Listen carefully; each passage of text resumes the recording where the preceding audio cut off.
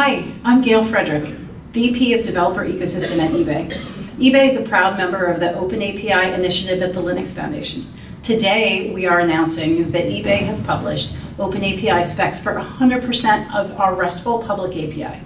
That's 19 APIs and more than 100 endpoints described in Open API specs version 2 and 3. eBay views Open API as a huge win for developer productivity.